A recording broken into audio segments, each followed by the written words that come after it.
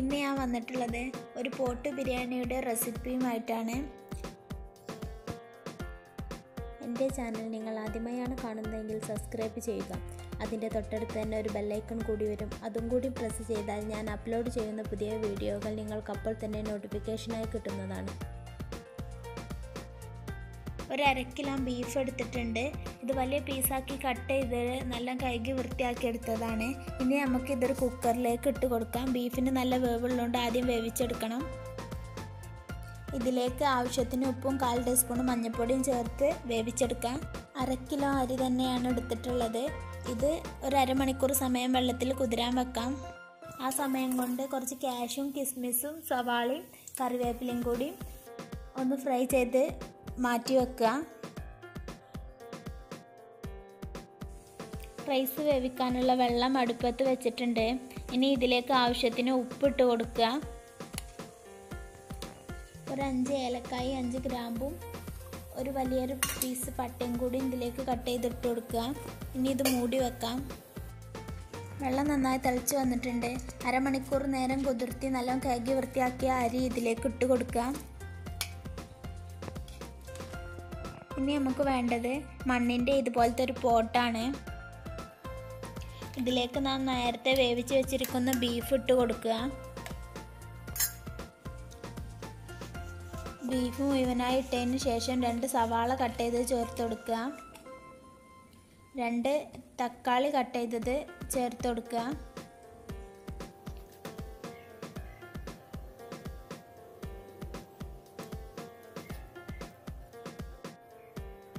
ഇഞ്ചി വെളുത്തുള്ളി പേസ്റ്റ് ചേർത്ത് കൊടുക്കുക. ഒരു നാല് പച്ചമുളക് കീറിയത് ചേർത്ത് കൊടുക്കുക. ഒരു പിടി മല്ലിയില ചേർത്ത് കൊടുക്കുക.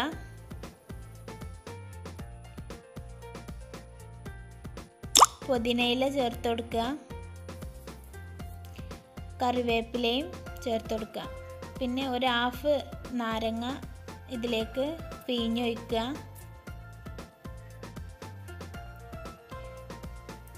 തൈര് ചേർത്ത് കൊടുക്കുക ആവശ്യത്തിന് ഉപ്പിട്ട് കൊടുക്കുക. കുരുമുളക് പൊടി ചേർത്ത് കൊടുക്കുക കാൽ ടീസ്പൂൺ മഞ്ഞൾപ്പൊടി ചേർത്ത് കൊടുക്കുക ഒന്നര ടീസ്പൂണ് മല്ലിപ്പൊടി ചേർത്ത് കൊടുക്കുക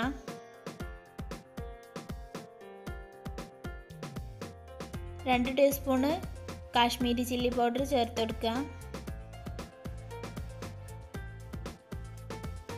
ഒരു ടീസ്പൂൺ ഗരം മസാല ചേർത്ത് കൊടുക്കുക. രണ്ട് ടീസ്പൂൺ ഓയിലും കൂടെ ചേർത്ത് കൊടുക്കുക. ഇനി ഇത് നന്നായി മിക്സ് ചെയ്ത് ഒരു അരമണിക്കൂർ സമയം ഒന്ന് റെസ്റ്റ് ചെയ്യാൻ വെക്കണം. അരമണിക്കൂർ സമയം കഴിഞ്ഞിട്ടുണ്ട്. ഇനി ഇത് അടുപ്പിലേക്ക് മാറ്റാം. റൈസ് വെന്ത് ഊറ്റി മാറ്റി വെച്ചിട്ടുണ്ട്. ഒരു ഹാഫ് വേവ് ആയിട്ടുള്ളൂ. ബീഫിന്റെ മിക്സ് നല്ലോണം തിളച്ച് അതിൽ നിന്ന് വെള്ളമൊക്കെ പൊന്തി വന്നിട്ടുണ്ട്. ഇനി ഇതിലേക്ക് നമുക്ക് വേവിച്ച് വെച്ച റൈസ് ചേർത്ത് കൊടുക്കുക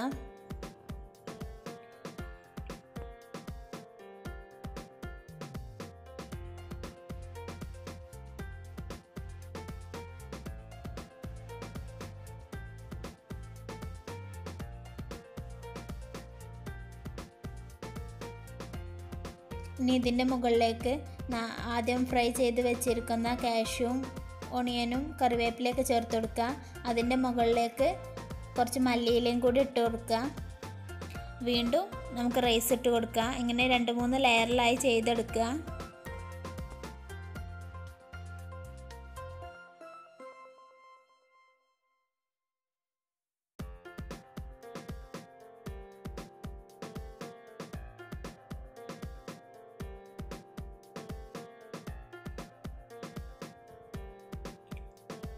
ഇനി അതിന് ശേഷം ചെറിയൊരു വായയില കൊണ്ട് ഇതൊന്ന് കവർ ചെയ്ത് വെക്കുക എന്നിട്ട് നമുക്ക് മൂടി വെച്ച് ഒരു പത്ത് മിനിറ്റ് വേവിച്ചെടുക്കാം.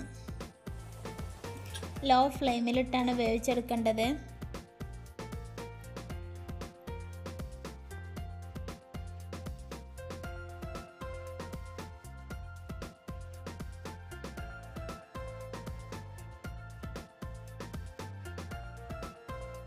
പത്ത് മിനിറ്റ് വേവിച്ചതിന് ശേഷം രണ്ട് ടീസ്പൂൺ നെയ്യും രണ്ട് ടീസ്പൂൺ റോസ് വാട്ടറും കൂടിയും ചേർത്ത് ഇതൊന്ന് മിക്സ് ചെയ്തിട്ട് നമുക്ക് ഇത് സെർവ് ചെയ്യാം.